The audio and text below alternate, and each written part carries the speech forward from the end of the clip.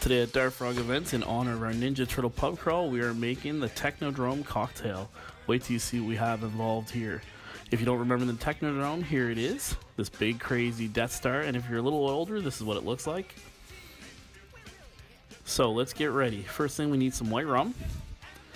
Then we need a little bit of amaretto, and then some hard root beer. Very first thing we do is put your ice in there. Don't drop it like me, but here we go.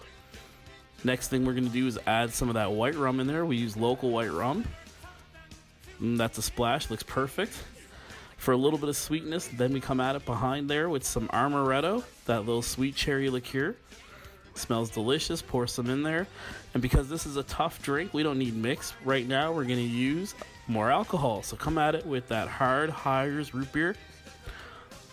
We're going to mix that all together, give it a swirl, and before you know it, you have a Technodrome. This is the perfect pre-drinking designate drink. is the Technodrome.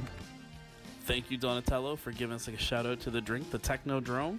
So, also, if you're interested in any of our crawls, check out dartfrogevents.com.